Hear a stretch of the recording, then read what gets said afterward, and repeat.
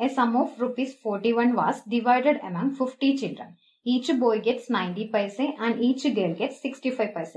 Then number of boys is. So we have total number of children is equal to 50 and total sum is equal to 41 rupees.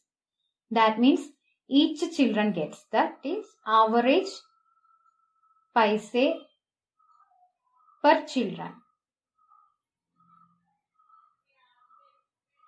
is equal to total number of rupees is equal to 4, 41 rupees that is 40, 4100 paise divided by number of children 50 that means this will be equal to 82 paise.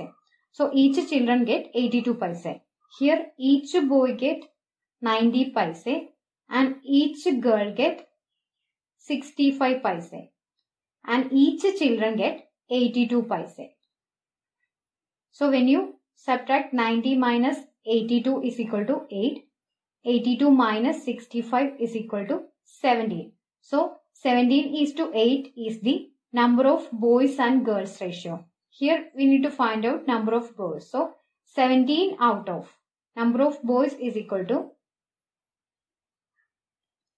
17 out of total number is 17 plus 8 25 into total number of students is equal to 50. So that means 25 into 2 50 17 into 2 34. 34 is the total number of boys. Option B is your answer.